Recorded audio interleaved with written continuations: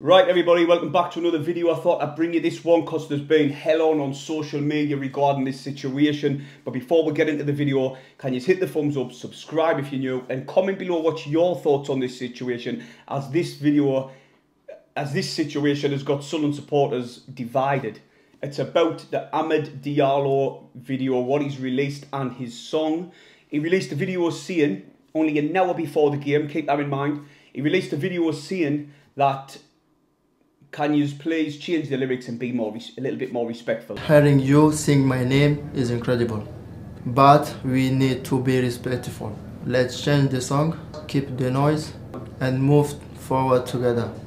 Which is fair enough, but the reason why I've got a little problem with this is because the club basically an hour before the game, very poor timing in my opinion, as in the game the song got sung numerous times, but a lot of supporters will not have even seen the video um, like I say, one hour before the game, supporters are travelling well well before an hour before the game, and also supporters gone to the pubs, meet up with the mates, and they'll not have even known about the video. I didn't. I got to the stadium and my mate said, yeah, have you seen this video? And I was like, why are you talking shit? He didn't show us the video, he just said there was a video. I didn't believe him. Um, but nonetheless, in the stadium, the song got sung because it was very poor timing, like I say, by the club. Um, the song is obviously Amad Diallo. He's got the biggest in the championship. And um, I didn't think Diallo dislikes the song. In, in fact, I think Diallo actually likes the song because every away game, he's went up to the Sunderland supporters when they've been singing this exact song and he's danced along to it. There's actual video footage of him dinging it. Dancing along to the song. Obviously, people have complained regarding the song and I can understand why they've complained. If you've got little kids around you didn't want to you didn't want them to use swearing and, and profanities and stuff like that. That song, when it's being sung, is sung by quite a lot of Sunderland supporters, so they will have heard it, and I can get, can understand how complaints have got to the club regarding the song. Um, like I say, it's been sung for months now, so Sunderland releasing that video was a bit poor timing. They could have done it a couple of days beforehand, give supporters plenty of time to either change the song or even just not sing it in general. But regarding the racism aspect for me, it's not racist. It's not racist at all. Um, a lot of Man United supporters used to sing about Lukaku. They had to stop doing that as well. So you can understand why they you want they want the song changed, but I cannot see it being racist in my point of view.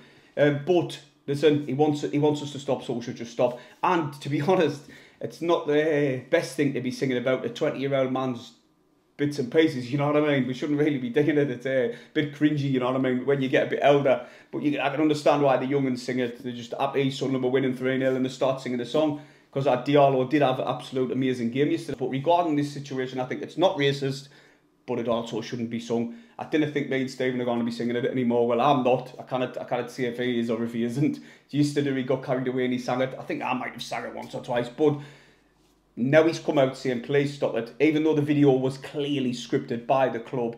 Uh, we even got him to say how are the lads. But nonetheless, uh, we've got to stop doing it. We've got to, if he's asked to be, the club's asked, let's just knock it on the head and stop singing it. But like yesterday, the, the lads played amazing. Uh, Alese, man, West Ham must be kicking themselves getting rid of him to us because he was immense. Batth won 10 out of 12 aerial dual headers. Amazing. Uh, Gooch just goes to show we were missing Gooch because he was min getting up and down the wing. Simms got his goal. Pritchard finally got amongst them as well. And the lads beat Millwall, which I was very surprised, 3-0. Especially after the way they were playing in the first half. It was just...